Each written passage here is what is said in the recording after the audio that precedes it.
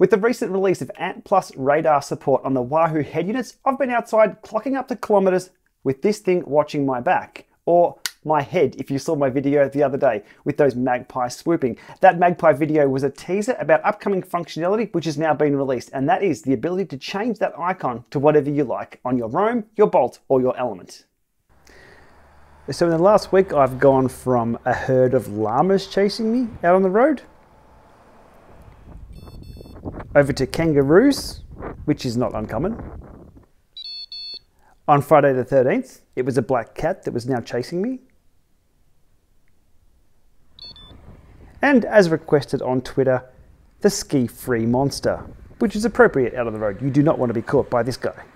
Okay, so with firmware 6023, I can let you in on the secret, but a few disclaimers first. First of all, this is an undocumented feature, so you're only going to find it here and also over on dcrainmaker.com because we share notes. Changing the icon is a manual process, so there's no ability to do this within the Wahoo ELEMNT app. Rollback is pretty easy, you just delete the file that we've put in place. And from here on, it's continue at your own risk. So with the disclaimers out of the way, here is the info that you need to put your custom icon on your Roam, Bolt or ELEMNT head unit. It is a PNG image file format. The size is around 25 by 28 pixels. Now you have to experiment with this yourself. I believe the radar active bar on the side there is 25 pixels wide, but give or take a few, you're willing to experiment. My icons are between 18 and 25 pixels wide the uh, test icons that I've been playing around with. It'll need to have a transparent background. The file name has to be radar underbar car.png and the colors also work on the Roam. Okay, to run you through the installation, I will go the ELEMNT Roam today and a USB cable. USB-C into the Mac, micro USB into the Roam, already powered on. Okay, and what pops up here is the Android file transfer because I'm on a Mac. Now I need to create a folder called Wahooligan. And it's within that folder we need to drop the icon. Now I've got a few I've already created here. We have a llama, a few Pac-Man ghosts, a little bomb I think that is, Formula One car. Now this was the original from the beta, which I really liked. We have a magpie, kangaroo, the SkiFree monster, which somebody asked me to do, I have done it. That's in my download pack. I'll put it over on gplama.com. And also the retro one up. So we're going to use the retro one up.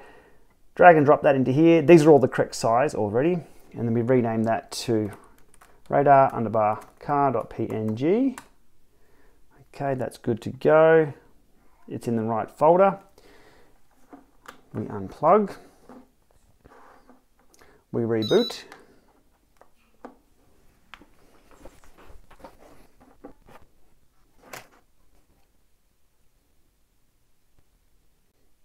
Okay, that's now on. I'll put the radar in test mode, press and hold top button of the RTL 510.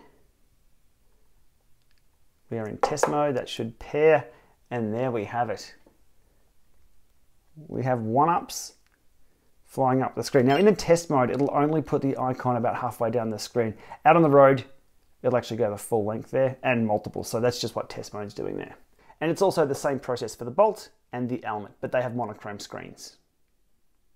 So there we have it, how to customize your own radar image on the ELEMNT, Bolt, or Roam GPS head units from Wahoo. Just a bit of fun. There's also a website called picresize.com, which comes in handy if you want to shrink an image down, but you're willing to play around with this a little bit to get the icon just right. And sometimes the colors or the shades don't quite match up with that sidebar, so just be aware of that.